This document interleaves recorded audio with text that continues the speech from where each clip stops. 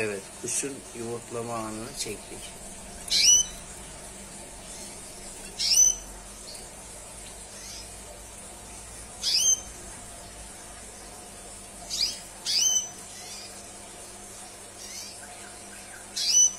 İnanmayanlar kendi görebilir.